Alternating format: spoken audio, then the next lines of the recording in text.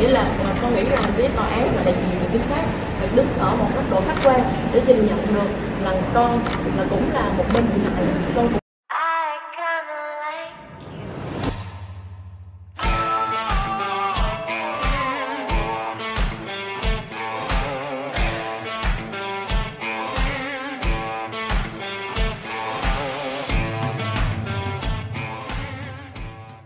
có phần có những cái nguyên nhân lý do của con rất khó nói. Mà để dẫn đến việc phải giết Trần Chí Thành và trong việc của Trần Đức Linh thì rõ ràng là con hoàn toàn không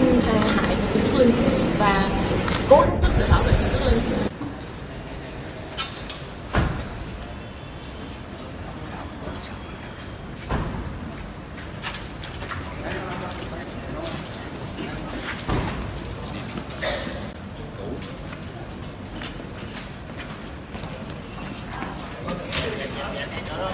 rồi, mấy anh em ném vào bên kiếm lại rồi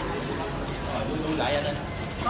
lấy rồi chứ. Rồi, đi lại cái thằng này